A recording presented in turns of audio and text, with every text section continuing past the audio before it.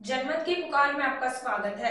दिल्ली के कल्याणपुरी इलाके में दो जुआ अड्डों पर छापेमारी के दौरान 43 जुआरी गिरफ़्तार हुए। दिल्ली पुलिस के पूर्वी जिला स्पेशल स्टाफ ने कल्याणपुरी इलाके में दो जुआ अड्डों पर छापेमारी कर 43 लोगों को गिरफ़्तार किया है।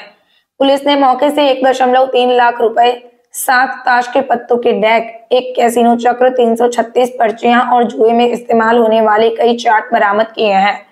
पूर्वी जिला डीसीपी अमृता गुगुलोत के अनुसार जुआ अड्डों को पिछले तीन महीनों से बेहद गुप्त तरीके से चलाया जा रहा था। पुलिस ने संदिग्ध गतिविधियों को देखते हुए जुए के ठिकानों तक जाने वाले रास्ते पर भेष बदलकर टीम को तैनात किया, जिसके बाद सभी आरोपी पकड़े गए।